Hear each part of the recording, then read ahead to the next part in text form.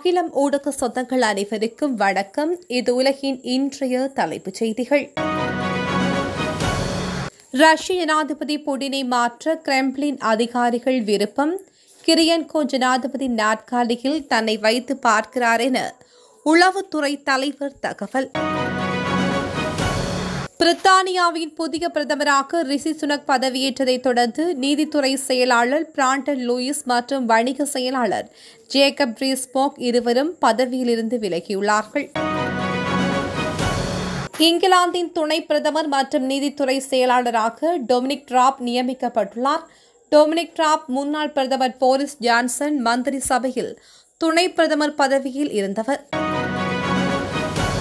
பிலிப்பைன்ஸில் சக்தி வாய்ந்த நிலநடுக்கம் ஏற்பட்டுள்ளது. இந்த நிலநடுக்கம் ரிக்டர் அளவில் ஆறு புள்ளி எட்டாக பதிவானது. அங்குள்ள பிலினி நகரத்தை மையமாக கொண்டு ஒன்பது கிலோமீட்டர் ஆழத்தில் இந்த நிலநடுக்கம் ஏற்பட்டுள்ளது. நிலநடுக்கத்தினால் சேதம் எதுவும் ஏற்பட்டதாக தகவல்கள் எதுவும் இல்லை. இங்கிலாந்து நாட்டின் பிரதமராக தேர்ந்தெடுக்கப்பட்ட ரிஷி சுனக் அரசன் மூன்றாம் சார்லஸை இன்று சந்தித்து பேசினார். அப்போது அரசன் மூன்றாம் சார்லஸ் முறைப்படி புதிய பிரதமராக சுனக் அறிவிக்கப்பட்டார். இதைத் தொடர்ந்து அவர் ஆற்றிய முதல் உரையில் முந்தைய எப்போதும் இல்லாத அளவுக்கு ரஷ்யா நடத்தக்கூடிய தாக்குதலில் உக்ரைன் பக்கம் நிற்க வேண்டிய தருணம் இது. பிரதமராக நியமிக்கப்பட்டுள்ள ரிஷி சுனக்கிற்கு எனது வாழ்த்துக்களை தெரிவித்துக் கொள்கின்றேன் என்று லிஸ்ட்ரோஸ் கூறியுள்ளார். சிற்றங் புயல் பலி எண்ணிக்கை பதினெட்டாக அதிகரிப்பு.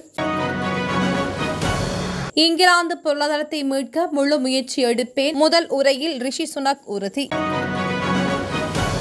ஜனாதிபதி மாளிகை அருகே துப்பாக்கியுடன் வந்த பெண் இந்தோனேஷியாவில் திடீர் பரபரப்பு.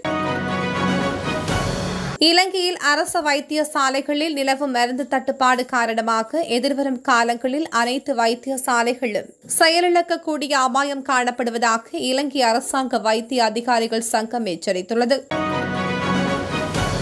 உத்தரப்பிரதேச மாநிலம் கன்னாஜ் நகரில் அரச விருந்தினர் இல்லத்தின் அருகே நேற்று முன்தினம் பதிமூன்று வயது சிறுமி தலையில் பலத்த காயமடைந்த நிலையில் யாரும் சிறுமிக்கு உதவாது செல்போனில் வீடியோ எடுப்பதிலும் புகைப்படம் எடுப்பதிலும் முனைப்பு காட்டிய காணொலி வெளியாகி அதிர்ச்சியை ஏற்படுத்தியுள்ளது.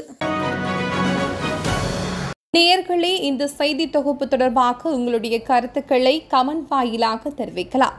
இதுபோன்ற உலக செய்திகளை உடனுக்குடன் அறிந்து கொள்ள அகிலம் ஊடகத்தோடு இணைத்திருங்கள்